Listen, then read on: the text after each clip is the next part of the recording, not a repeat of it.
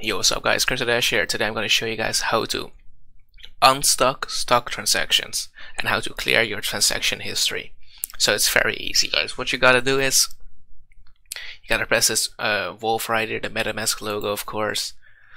Then you go to the right, to the circle right above. Then we go to the settings, the advanced, and we're gonna enable two options.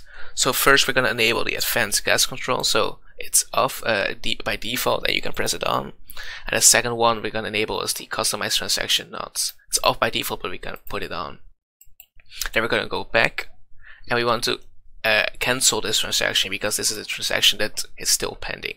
So we're just going to cancel it, press save, press let's try, and then we can either speed up this cancellation or just wait.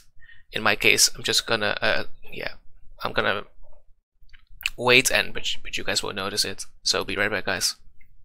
Alright guys, I'm back. And as you can see, the it's still uh, pending, but my transaction, I canceled successfully, as you guys can see.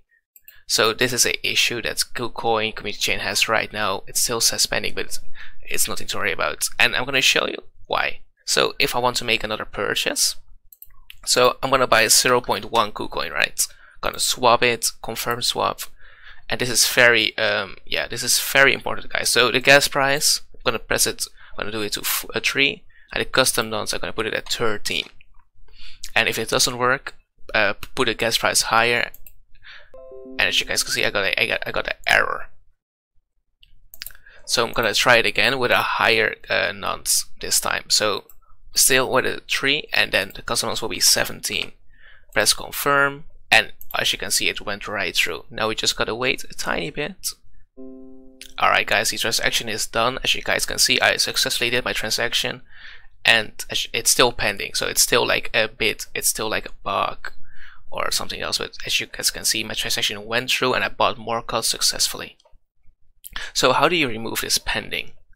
Because yeah, of course you don't want it. It's very easy guys. Go to your MetaMask account, go to the right circle above, and go to the settings, go to advanced and press this red button reset account. So resetting account doesn't mean your tokens will be gone, doesn't mean your money will be gone. No, it just means that the transaction history will be gone. So reset account and press reset, it's gonna load and it's done. So right now I'm gonna refresh the website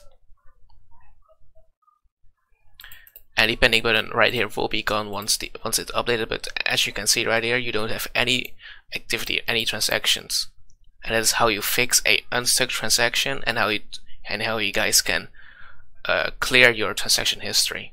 Thank you guys for watching. I will see you guys next time. Bye guys.